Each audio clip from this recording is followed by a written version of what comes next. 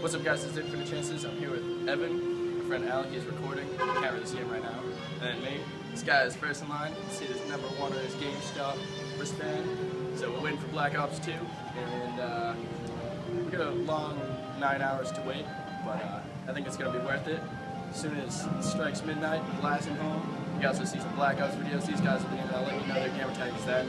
Because they keep switching it. I don't know what their gamer tag is at this point in time. So come back to my channel, Infinite Chances, and you guys will see plenty of Black Ops 2 videos, zombies, zombie song pieces, online gameplay, all of that right after midnight.